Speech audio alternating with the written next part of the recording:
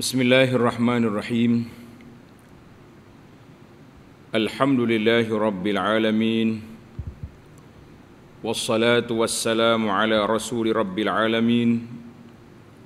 Nabiyyina wa Habibina wa Qudwatina Muhammad ibn Abdullah Wa ala alihi wa sahbihi. ومن سار على نهجه واهتدى بهديه واستنى بسنته إلى يوم الدين أما بعد Muslimin dan muslimat para jemaah Para pencinta ilmu sekalian Alhamdulillah pada hari ini Jumaat 28 Rajab 45 Bersamaan dengan 9 hari bulan 2 24 kita teruskan pengajian kita dalam sebuah kitab nama dia Basairul Iman. Kita ini nama dia Basairul Iman. Kita terjemah dengan makna penyuluh iman. Ha, makna dia penyuluh iman. Jadi iman kita ni perlu kita suluh. Perlu kita tengok apa perkara yang patut diperbetulkan. Apa perkara yang patut diperkemaskan di saat yang kita duduk hari ini kecelaruan yang agak berat.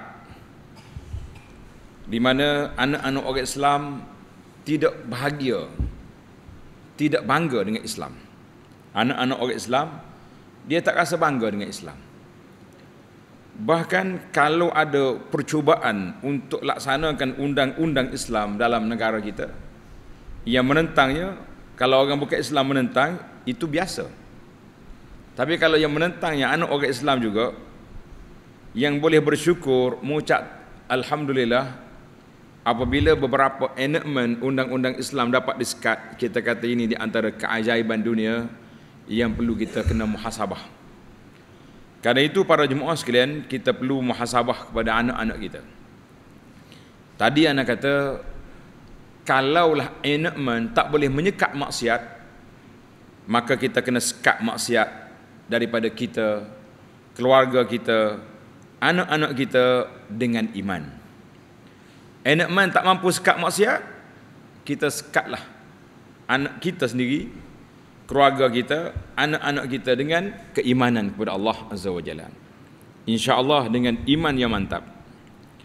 Dengan jaga solat, jaga ibadat, perkemaskan akidah kita, berpegang dengan Quran dengan sunnah, biiznillahi azza wa jalla walaupun kita duduk dalam negara kafir sekalipun akidah tidak terancam biiznillahi azza wa jalla.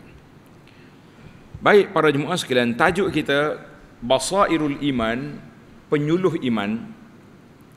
Kita masih lagi dalam tajuk fil i'tisam bil kitab was sunnah. Al basiratul ula fil i'tisam bil kitab was sunnah.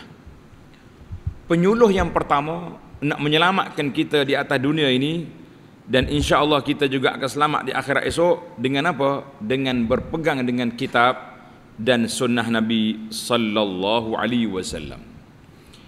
Maka para jemaah sekalian terdapat beberapa ayat dan hadis-hadis Nabi sallallahu alaihi wasallam yang mengarahkan kita mengajar kita supaya i'tisam berpegang dengan Al-Quran dan berpegang dengan sunnah Nabi sallallahu alaihi wasallam sebagaimana Allah Taala berfirman dalam surah Ali Imran dalam surah Ali Imran ayat 102 dan 103 a'udzubillahi minasyaitonirrajim.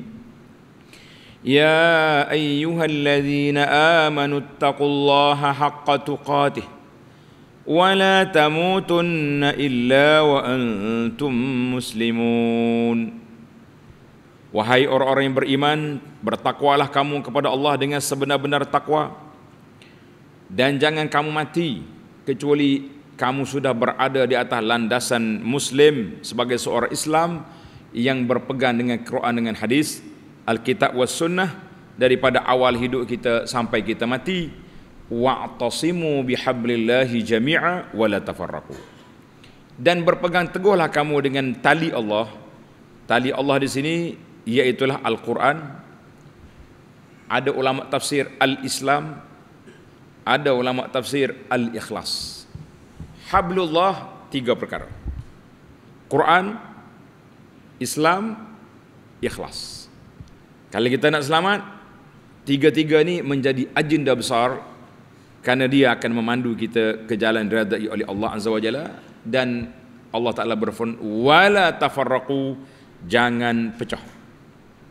Jangan berpecah belah, jangan duk balah sama kita kerana itulah yang menjadi tonggak asas kepada keselamatan. Sambungan kita dalam siri ini iaitulah tentang nususul kitab was sunnah. Beberapa nas lain daripada al-kitab daripada sunnah Nabi sallallahu alaihi wasallam. Iaitu sabda Nabi sallallahu alaihi wasallam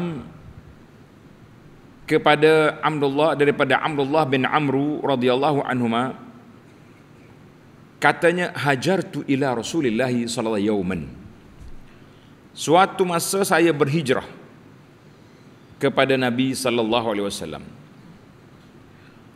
bila dia pergi fasami'a aswat rajulain yakhtalafa fi ayatin Nabi dengar sahabat-sahabat ni berbeza pandangan tentang satu ayat. Ia ni kata makna dia gini, yang seorang ni kata makna gini.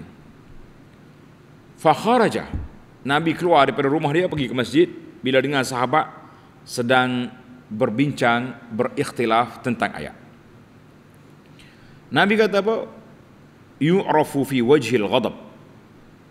Nampak muka Nabi tu merah. Dia Nabi ni putih. Bila dia marah tu merah. Marah. Muka orang marah.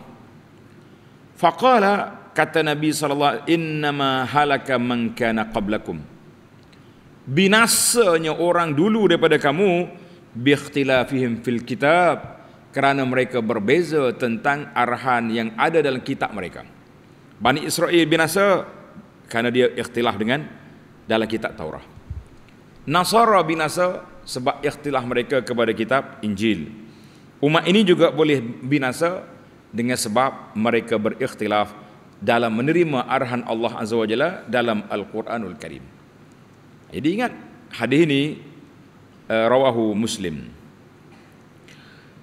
Daripada Jundub bin Abdullah Al-Bajali radhiyallahu anhu Nabi SAW bersabda Iqra'ul Quran ma'talafat alihi qulubukum Membaca Quran selama hati kamu boleh bersatu. Maknanya kita faham ayat ini sama. Dan kita berusaha untuk mendaulatkan ayat. Berusaha untuk beramalkannya. Fa iza ikhtalaftum fihi faqum bila kamu rasa tak faham ayat ini ada timbul syubhah dalam ayat faqumu tinggal dulu. Pergi cari ulama-ulama tafsir. Pergi cari ulama yang muktabar yang boleh menjelaskan makna ayat yang boleh menafsirkan ayat boleh memberitahu maksud ayat mudah-mudahan kamu tidak akan berkelahi dengan sebab apa dengan sebab baca Quran ini kita bimbang hari ini kita baca Quran kita berkelahi masing-masing tafsir. Bila kita baca ayat tentang hukum, ada ulama kata eh ayat ni turun ke Yahudi. Ada ulama kata iyalah turun ke Yahudi pun untuk kita berkelahi. Yahudi ke kita? Balah. Tinggal dulu. Jangan duduk dah dengan ikut nafsu.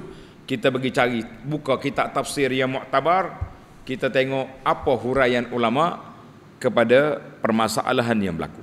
Aja ni buat.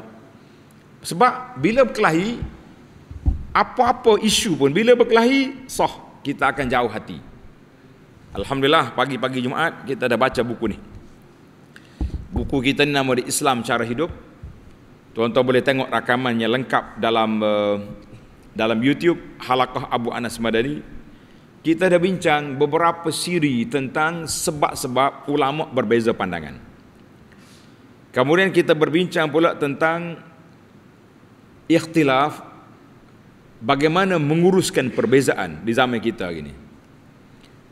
Berbeza tak boleh nak lari. Semua orang akan berbeza.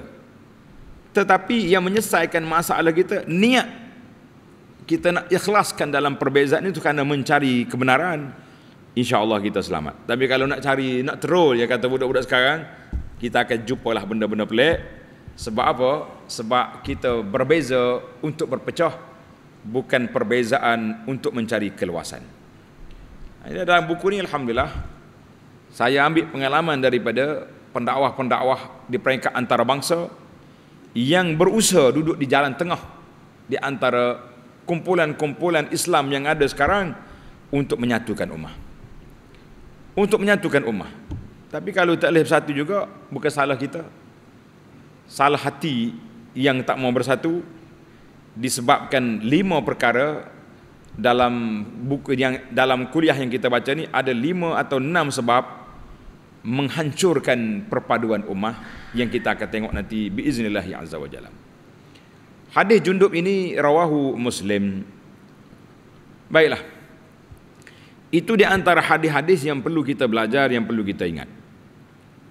Kemudian hadis uh, yang ketiga hadis Al-Irbad bin Sariyah yang panjang yang masyhur Nabi wasallam telah beri wasiat pada para sahabat baginda mengatakan fa innahu man ya'ish minkum fasayara ikhtilafan katsira siapa yang hidup selepas aku tidak ada mim apa ni man ya'ish minkum ba'di siapa dia hidup lepas aku tak ada fasayara ikhtilafan katsira dia akan tengok perbezaan perpecahan yang besar jadi apa wasiat nabi apa pesanan baginda Nabi sallallahu alaihi wasallam untuk menyelesaikan masalah ini? Fa'alaikum bisunnati. Nabi kata berpeganglah dengan sunnahku. Wa sunnatil khulafa'il mahdiin ar-rasyidin. Berpegang dengan sunnah yang disambung oleh para khalifah Islam ar-rasyidin, khalifah yang empat. Tamassaku biha berpegang dengan dia wa addu 'alaiha bin nawajiz gigitlah sunnah ini dengan gigi geraham bukan dengan gigi palsu. Yang kita bimbang ini kita gigit sunnah dengan gigi palsu. Sama ada sunnah itu tercabut atau gigi kita yang patah. Sebab itulah kita tidak mantap hari ini. Bila sebut amalan sunnah Nabi, macam orang tak berapa nak uh, nak percaya. Tak berapa nak kuat. Tapi kalau sebut ini amalan noni sekian-sekian kelebihan, tinggi selalu darjah. Saya terlupa tadi nak bagi tahu. Ni orang duk viral Hari ini hari Jumaat terakhir bulan Rajab. Kita kena baca beberapa zikir ketika imam atas mimbar. Dalam kitab fiqh kata, dalam kitab hadis kata, ketika imam atas mimbar, kita kena diam. Kenapa pula awak pergi suruh orang pergi baca? Ha, tengok ini, kontra. Bila benda menyalahi sunnah, tidak ikut sunnah, dia akan bertembung. Ramai duk tanya soalan, tuan-tuannya tanya soalan itu, jawabnya, amalan tersebut tidak warid dalam sunnah Nabi sallallahu alaihi wasallam dalam uh, dalam apa dalam YouTube kita sudah ada tuan-tuan boleh cari tajuk apa ni uh, bacaan Jumaat yang terakhir bulan Rajab dah hurai panjang tapi panjang-panjang hurai pun kalau tak ulang balik lupa dia pada tu orang tanya tu soalan yang sama soalan yang yang biasa ya maka Nabi pesan kepada kita Fa'alaikum bisunnati. Berpegang dengan sunnah, kita selamat. InsyaAllah. Baiklah beberapa hadis yang panjang ini kita tak mampu nak syarah semua sekali. Sebab apa? Sebab banyak sekali hadis-hadis yang perlu kita huraikan dan dia panjang. Maka bila kata al-i'tisam bil kitab was sunnati berpegang dengan Quran dengan hadis ada orang akan pertikai Awak mana boleh faham Quran? Kita kata betul. Kita mana boleh faham hadis? Kita kata betul. Tapi kita bergantung kepada tafsir para ulama. Orang yang paling otoriti menafsirkan Al-Quran siapa dia? Nabi sallallahu alaihi wasallam. Kemudian disambung oleh para sahabat. Kemudian disambung oleh para tabi'in, disambung oleh imam-imam yang besar mereka telah menafsirkan Quran satu persatu. Imam Syafi'i rahimahullah taala kalau orang tanya dia kalau soalan dia tak ingat dia bagi masa minta tempoh tiga hari. Bagi aku masa tiga hari. Imam nak apa tiga hari? Dia nak baca Quran. Sebab biasanya ulama-ulama salah ni kalau dia mengaji Quran dia khatam tiga hari sekali. Sepuluh hari, sepuluh juzuk satu hari. Sebab kalau baca lebih pada tu, laju lagi, tak sempat nak tangkap dia punya makna. 10 juzuk, boleh. Jadi orang tanya kenapa tiga hari imam? Dia kata aku semok Quran, aku baca Quran awal daripada Al-Fatihah sampai An-Nas dalam masa tiga hari akan jumpa jawapan daripada Quran apa yang kau tanya. Nah, itu jawapan sudah ada. Ulama salah telah menafsirkan semua ayat-ayat ini.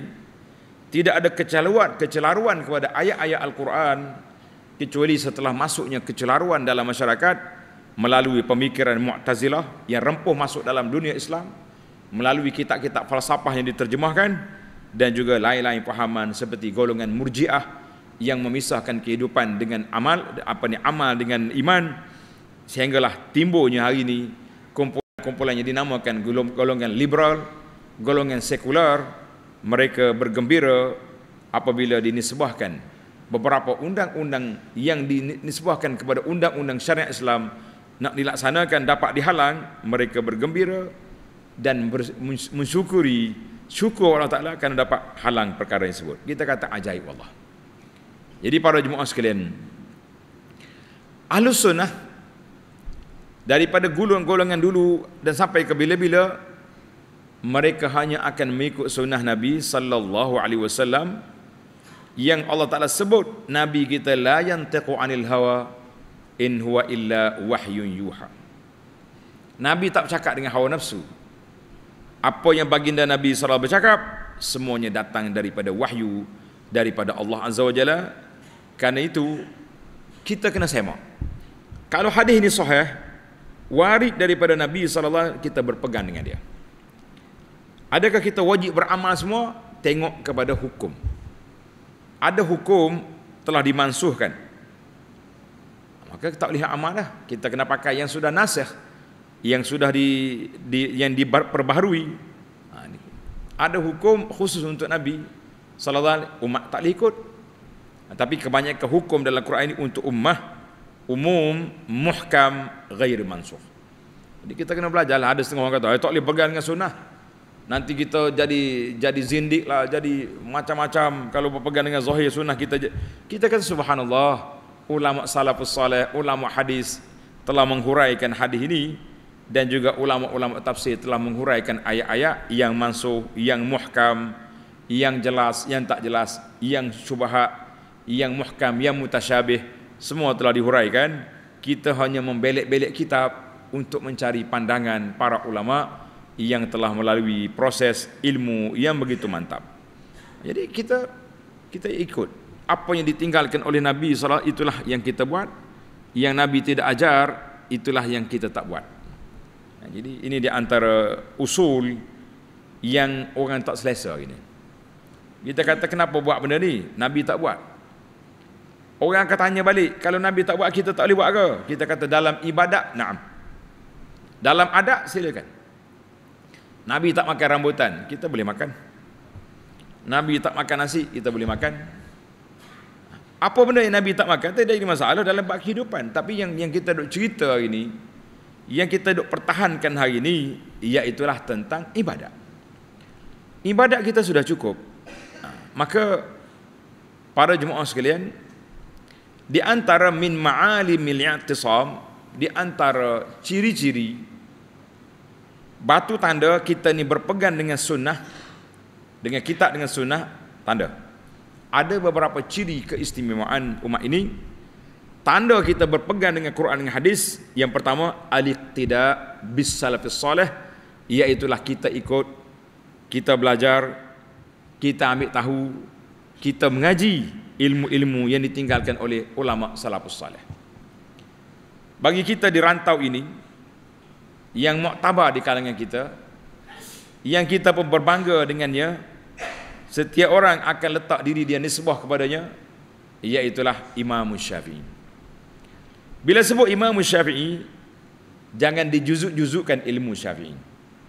Kita belajar apa Syafi'i kata tentang tauhid kepada Allah Azza wa Jalla. Apa Syafi'i kata tentang fiqh?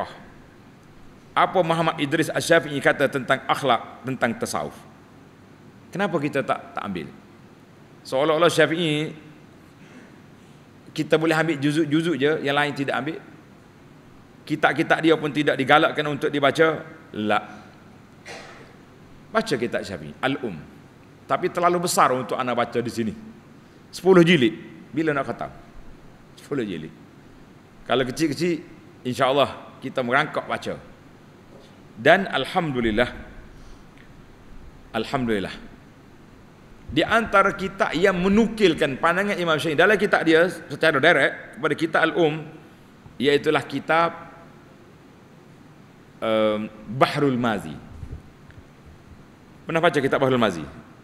Kitab Bahrul Mazi syarah kepada Sunan At-Tirmizi yang disusun oleh Syekh Abdul Rauf Al-Marbawi. Ni orang panggil Syekh Marbawi ni. Asal dia Bukit Merbau di di Perak. Ha, masyhur kita dia Bahrul Mazi. Kalau orang ngaji agama yang masyhur sekali kitab Qamus dia. Qamus Al-Marbawi. Ha, orang ngaji kalau jagalah kalau orang ngaji Arab tak tak pergi Qamus Marbawi tu kira kira koman lah orang lah gitu. Ha. Dari dalam kitab ni dia direct Qala Syafi'i fil um. Qala Nawawi fi syarhi Muslim wa fil majmu'. Kita kata jazahullahu khaira Syekh uh, Al-Marbawi uh, Muhammad Idris Al-Marbawi rahimahullah taala yang menukilkan pandangan ini melalui dia lah kita boleh dengar mimbar-mimbar meja-meja kuliah di Malaysia ini melalui kitab ini Bahrul Mazi kita boleh dengar pandangan Imam Syafi'i kalau tidak tersembunyi yang kita duk dengar tu pandangan Syafi'iyah. Bukan daripada imam sendiri. Ha, ini. Alhamdulillah.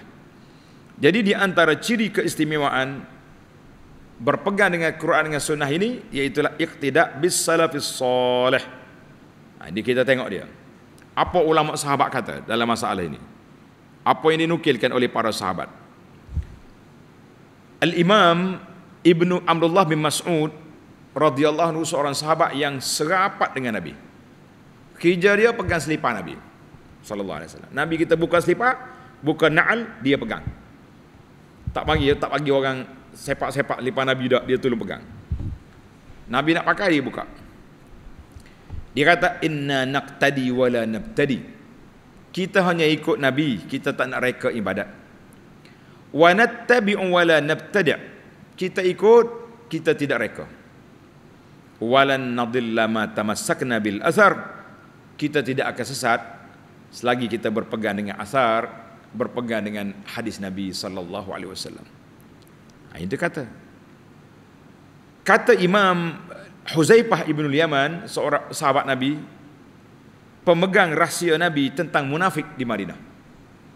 Tuan-tuan tanda, Huzaifah bin Al-Yaman radhiyallahu anhu sahabat Nabi yang Nabi beri kepada dia bisik kepada dia rahsia nama-nama munafik yang ada di Madinah. Hebat Huzaifah.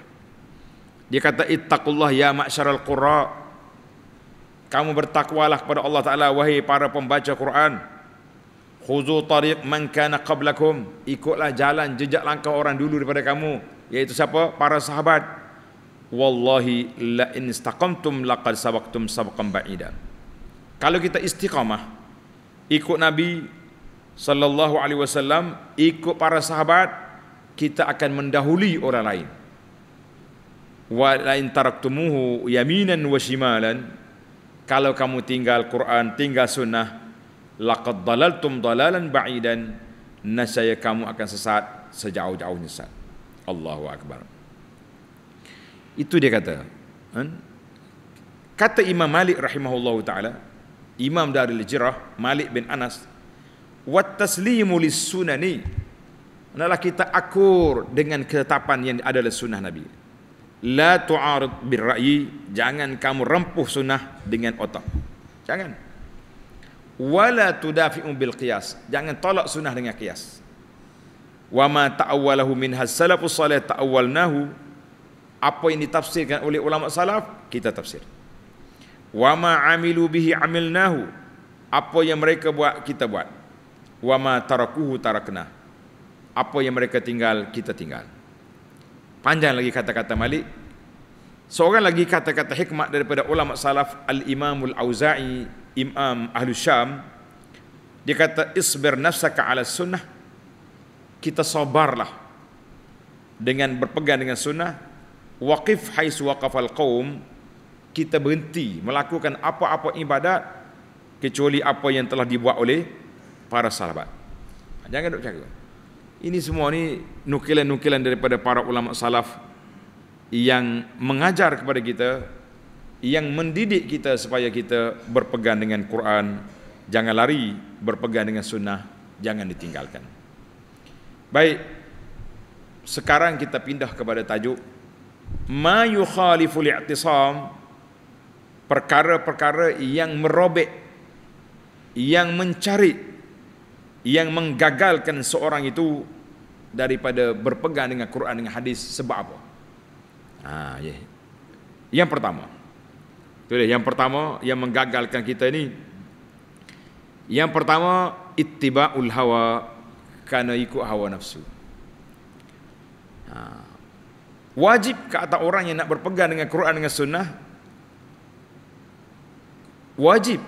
Kita jaga diri kita jangan mendahului Allah dengan Rasul Tuhan kata halal kita pergi kata haram la Nabi kata kanan kita pergi kiri no Jangan berani-berani.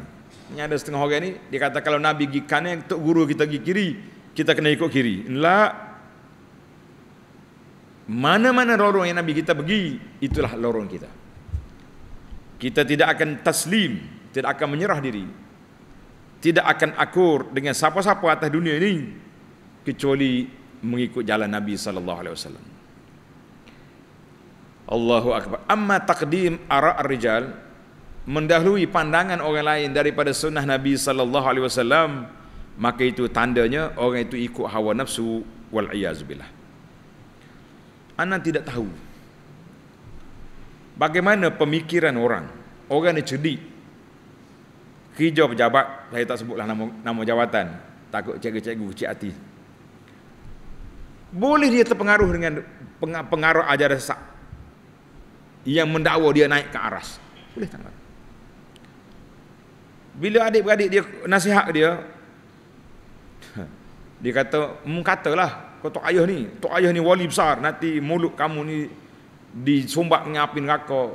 Siapa adik-beradik dia takut? Dia tanya balik. Dia kata betul ke eh betul apa? Kalau dia tak solat orang kampung dia dianggap sebagai orang yang, yang tak sah belaka solat dia sendiri nak tengok nak tengok masalah naik ke tak naik ke arah terus tanya Tuhan apa lagi ajaran yang kita nak pegang macam ni?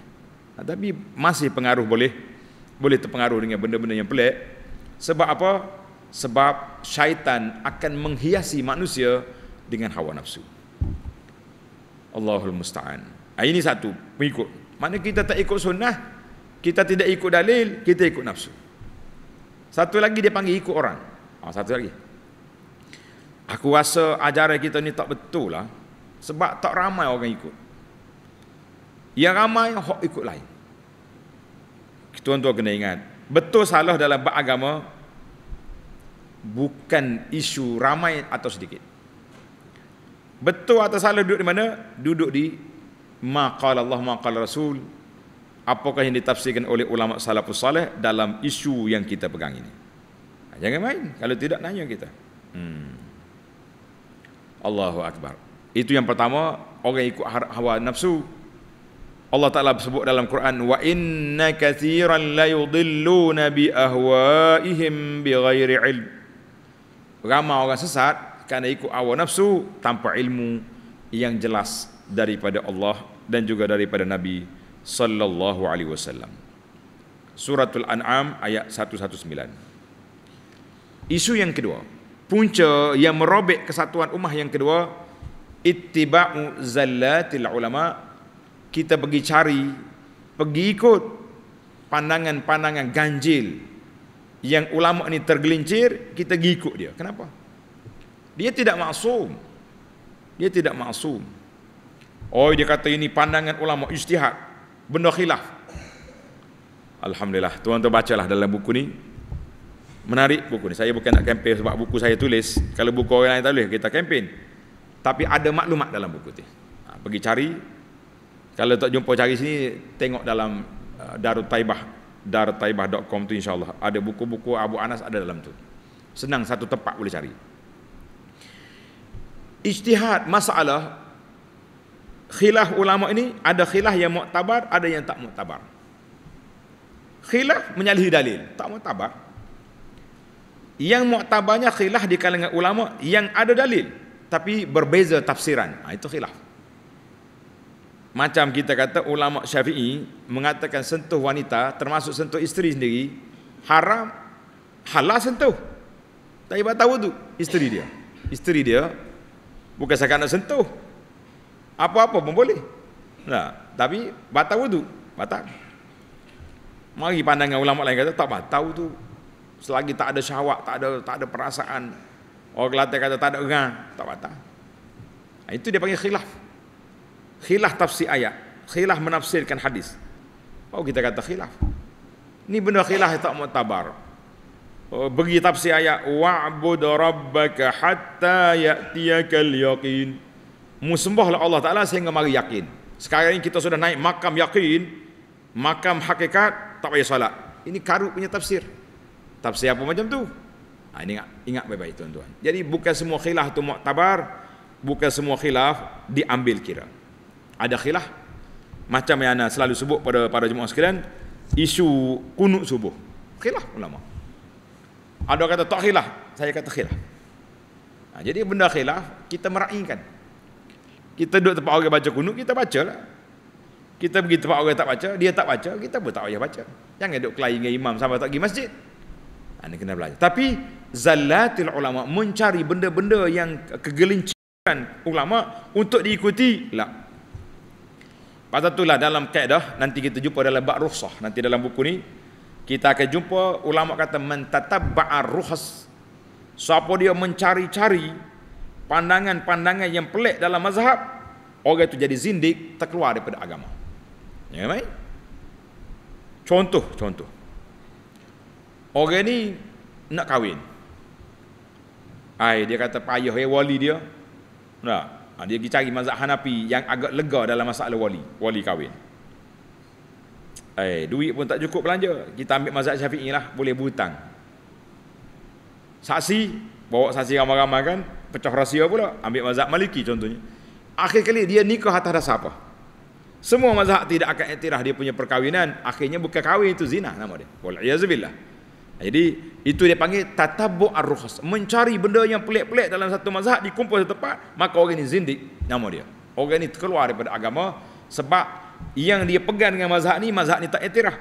Yang ni akhir kali semua empat-empat mazhab tak iktiraf amalan dia kita mengatakan itulah yang dikatakan tafassaqa jadi fasik ataupun jadi zindik sebab hidup cari benda-benda yang pelik-pelik yang di, dikira salah. Satu. Isu yang kedua suka membongkar kesalahan orang. Ha, ini masalah juga. Dan kita tahu dah ulama ni ada kelemahan dia. Mana ada ulama tak lemah walaupun imam besar. Bila kita tahu pandangan dia lemah, kita saya kita ikut yang lain. Tapi tak dia duk main juga. Main juga ulama ilmu. Ha, pasal kata tu kata itulah apa ni kau ulama kata wa tatabbu'uz zallat wa tadayyun bil hafawat. Siapa dia uh, duk cari kesalahan orang duk ikut hak benda pelik maka dia jadi zindik. Wal iazubillah tak ada ulama yang tak yang yang kata 100% solid tidak mungkin. Cuma kesalahan yang sedikit nah ini ini kaedah Tuan-tuan tulis kaedah ni, kaedah perdamaian. Mana-mana orang ada kelemahan. Kata orang wal kamilu minal ulama man uddat saqatatu. Ulama yang dikira besar orang yang boleh dikira dengan jari kesalahan dia. Dia ni ada salah, ada. Berapa masalah? Masalah ni masalah. Okey. Lima masalah contoh dia salah. Hak lain-lain beribu masalah, dia betul. Boleh ikutlah. Tapi kalau seribu masalah salah, lima yang betul, lah. Ha, ni kita jangan duk mayak tu. Wasa'idu man husibat hawafawatuhu. Ulama kata, orang yang bahagia itu, kalaulah orang boleh cari kesalahan kita dengan ujung jari. Maknanya, beberapa kesalahan je kita ada. Alhamdulillah. Mudah. Kita pun orang bagi nasihat kita terima. Tak. Oh, ustaz ni kesilapan dia sekian, sekian, sekian. Siapa ke kita, kita semak balik buka kitab buka ni buka ni. Tengok-tengok alhamdulillah pandangan ulama ada. Ulama pandangan boleh diterima. Ulama. Ana ingat waktu ana mula-mula keluar pandangan. Pandangan tu pandangan tak ada masalah sebenarnya. Uh, bagi kita yang duduk belajar di negara Arab ada punya pandangan ulama yang mengatakan kita boleh balik ke rumah kalau kita musafir kita tak nak qasar tengah jalan. Kita jamak niat. Kita boleh terus ke rumah kita sampai rumah kita jamak tamam tidak jamak qasar bila kita keluar pandangan ini bising satu Malaysia. Macam-macam serangan mari. Kata macam-macam. Alhamdulillah. Hasil daripada cetusan pandangan itu ustaz-ustaz kita buka kita, belik kita, buka buku itu sendiri, jumpa pandangan ulama yang mengatakan boleh. Hah, kita kata alhamdulillah. Ulama Syafi'i pun membolehkan dengan SOP dia lah. Ha, sama ada balik sampai rumah tu.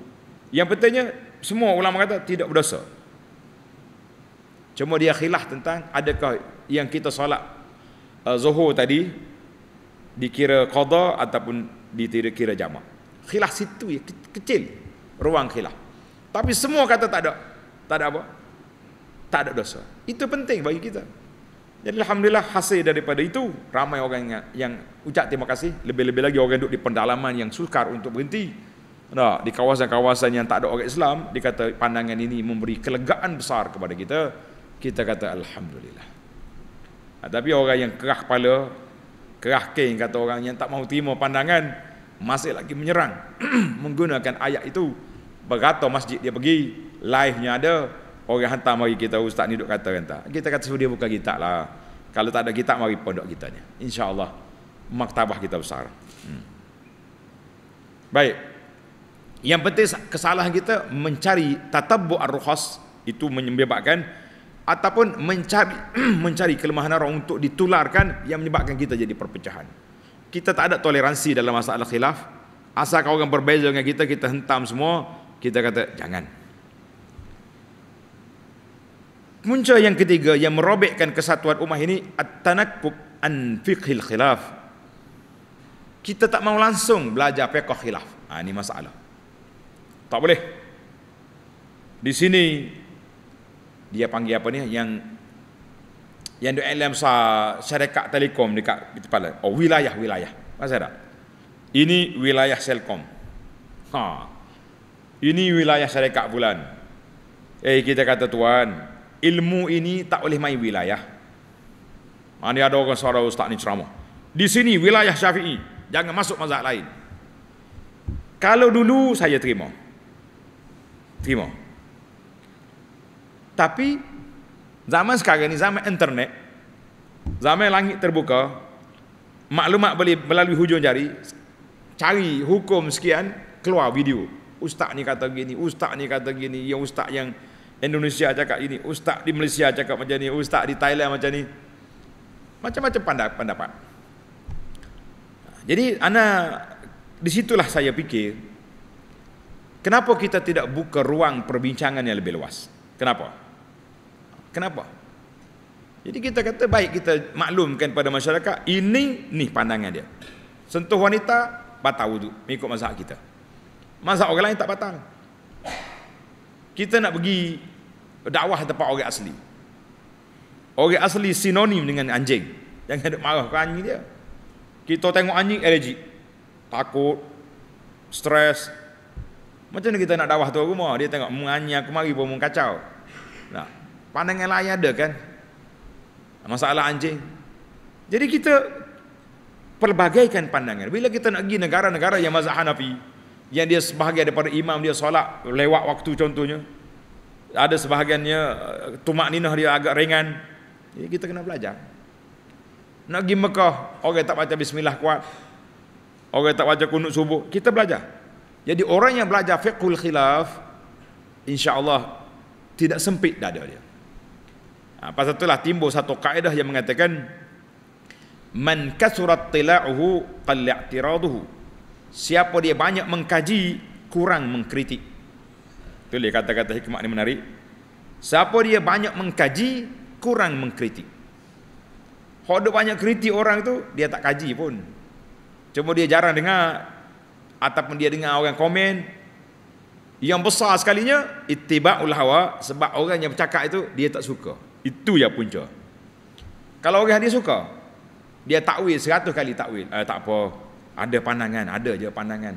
Tak, khilaf-khilaf ulama ni ada. Syekh kita cakap tu betul tu. Oh, tapi kalau orang dia tak suka, ni faham apa ni? Buat mari mari mana pula ni? Ah. Oh, dia celek mata.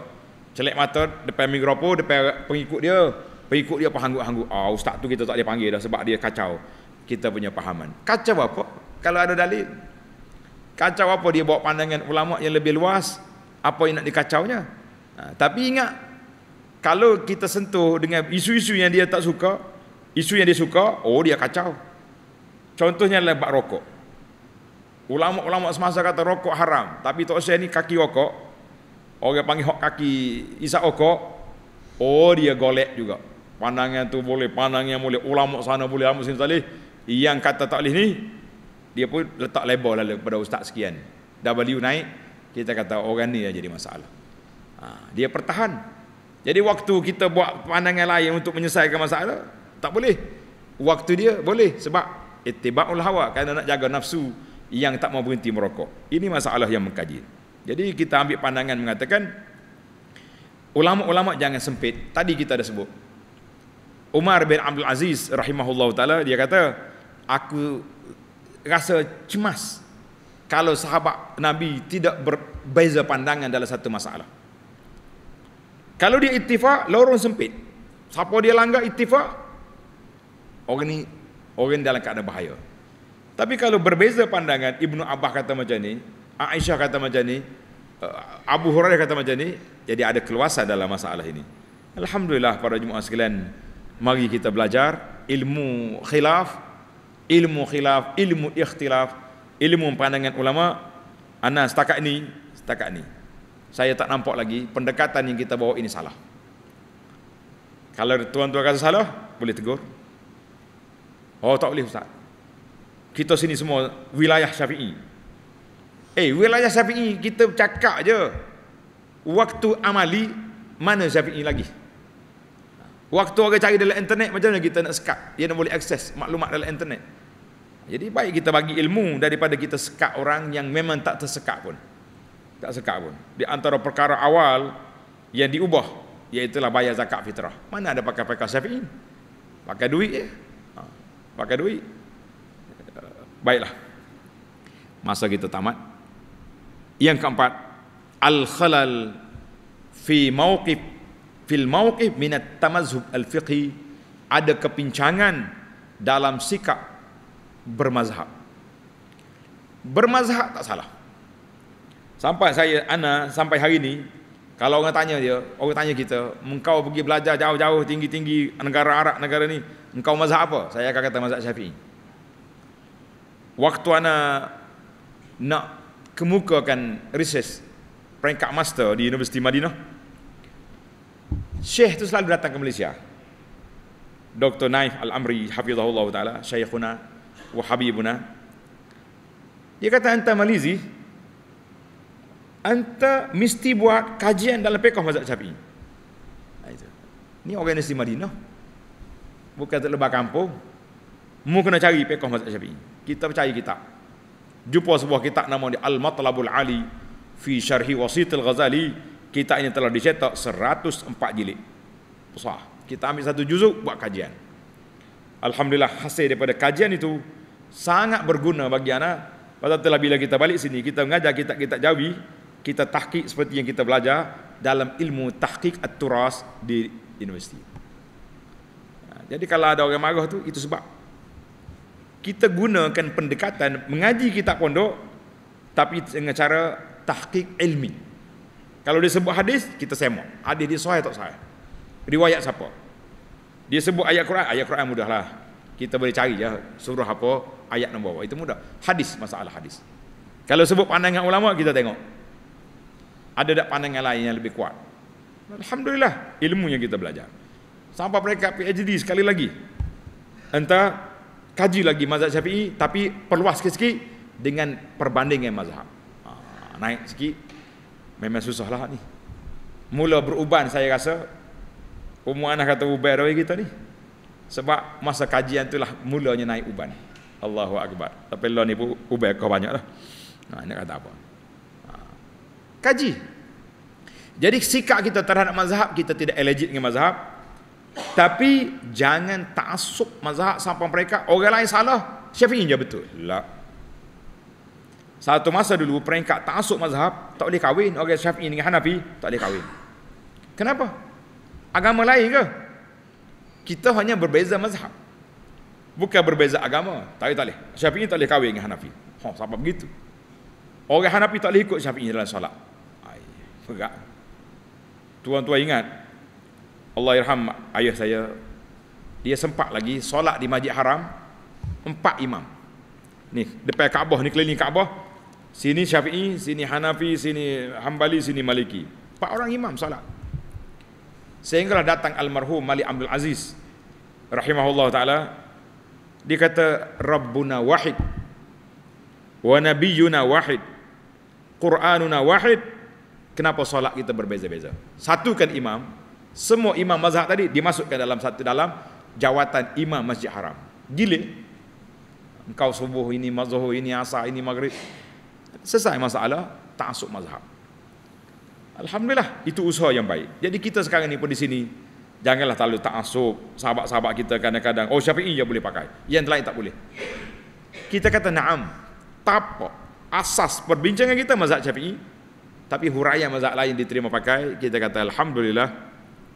Sebab itulah di antara yang ana suka kitab mesti ke hadis yang dikeluar oleh pejabat Perdana Menteri Malaysia dulu sekarang ini dikeluar oleh Jakim dia tulis dalam tu kita naklah bantu umat Islam menyelesaikan masalah mereka. Kalau tak ada pandangan dalam mazhab Syafi'i carilah mazhab lain yang boleh menyelesaikan masalah. Itu yang betul pasal itulah sekarang fatwa-fatwa yang dikeluar oleh pejabat-pejabat mufti. Banyak je yang tak ikut mazhab Syafi'i. Dalam masalah sistem keuangan kita gini kalau ikut mazhab syafi'i mungkin banyak produk yang tidak diluluskan. Jadi kita kata Alhamdulillah. Yang terakhir ustaz-ustaz ahli-ahli fatwa hendaklah bersikap wasati dalam fatwa. Jangan keras jangan terlalu lembut. Ambil jalan tengah jalan sederhana. Kita tengok suasana orang. Orang ni kuat ke tak kuat kalau kita tengok kadang-kadang dia suka suka benda susah suka benda susah. Bila ana di antara isu yang awal saya terlibat di Malaysia ni waktu balik dan tuan-tuan apa ni insya-Allah saya cuba nak tulis sejarah dakwah 15 tahun di Malaysia.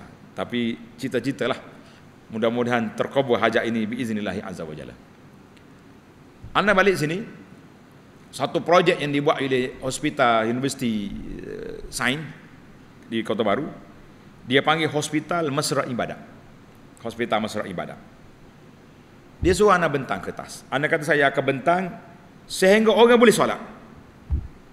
Sehingga orang boleh solat. Jadi kita cuba bentangkan. Pandangan-pandangan ulama dalam masalah orang yang ada wayang.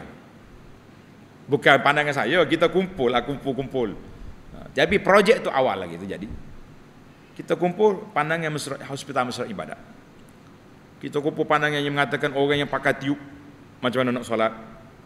Ambil pandangan fatwa negeri Kelantan, ambil fatwa pusat, ambil kumpul semua banyak hukum-hukum yang melegakan orang sakit. Yang nak solat lah, yang tak nak solat tak sekira waktu tu. Ha, waktu tu tak sakit dia tak semaya, pelik apa ke dia. Yang kita duk orang nak solat. Boleh tak boleh kita jamak? Orang nak buat pembedahan pukul 3 tengah hari, jangka dia punya pembedahan selesai pukul 8 malam. Jamaklah jamak takdim. Zuhur dengan asar jamak tamam. Sebelum masuk bilik OT bilik pembedahan doktor pun sama. Kan lega banyak tu. Mari bulan Ramadan orang injek masuk air masuk uh, jubat batal tak batal puasa? Tak batal. Di antara isu yang agak panas sikit orang guna inhaler. Inhaler yang orang seduk yang orang lelah orang lelah ni tak boleh tahan. Kalau dia tak seduk mungkin dia mati. Lemas. Kita cari fatwa. Wasati mengatakan inhaler tidak batal tak batal puasa. Seduk. Ha, mari pula kawan-kawan lain pula. Oh, mana boleh? Eh engkau tak sakit engkau sedap lah cakap. Pergi tanya orang yang yang asma tu. Yang teruk-teruk tu. Oh Allah dia kata ustaz lega saya. Kalau tidak saya tak boleh puasa. Ha, ini puasa hati kita suka sangat hukum yang pelik-pelik yang keras-keras dalam masalah-masalah tertentu ya. Masalah lain lega sangat. Nah, jadi alhamdulillah para jemaah sekalian mudah-mudahan Allah Ta'ala beri kepada kita anugerah kita yang terbaik. Kita pilihlah jalan yang baik. Mendamaikan orang kesatuan ummah supaya kita damaikan orang. Semua aliran kita nak damaikan insya-Allah. Aliran salaf aliran khalaf asyairahnya maturidinya alul hadis kita nak satukan di atas satu platform nama dia ahlus sunnah orang yang berpegang dengan sunnah yang berpegang dengan kitab was sunnah biiznillahi azza wajalla ha, tapi perjuangan itu bukan mudah. Orang bukan senang nak terima kecuali apa yang dikendaki yang sepakat dengan hawa nafsu wallahu alam. Insyaallah kita akan sambung lagi dalam siri yang akan datang. Basairu al iman cukup menarik kita ini. Tapi tak ada lagi. Ada orang tanya kita ni ada terjemah? Saya kata belum terjemah. Tuan-tuan dengar ya Abu Anas baca khulasah kita ni insyaallah biasanya kita ni lepas anak khatam ah, dia keluarlah kitab macam ni mana dia akan ambil ni ada penerbit ni dia tulis balik apa yang kita cakap dan dia akan tulis balik. Tahun lepas ingat tak? Kita bercerita tentang bahasa yang baca hadis Dajjal. Waktu cuti macam ni, insyaAllah buku Dajjal akan keluar melalui hadis-hadis yang sahih. Biiznillahi azza wa jalla, itu jelah yang kita mampu bantu uh, memandaikan ummah, menyampaikan ilmu setakat mana yang ada. Mudah-mudahan ilmu ini menjadi bekalan ketika kita keseorangan dalam kubur. Wa sallallahu ala nabiyyina Muhammad wa ala alihi wa sahbihi ajma'in walhamdulillahi rabbil alamin. Wassalamualaikum warahmatullahi wabarakatuh.